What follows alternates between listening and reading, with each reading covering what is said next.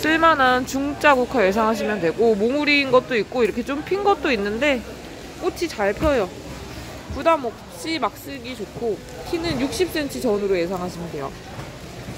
대가 좀 약한 것들도 있는데 막 휘청거리진 않고요. 이렇게 휘어진 것도 같이 섞여 있어요.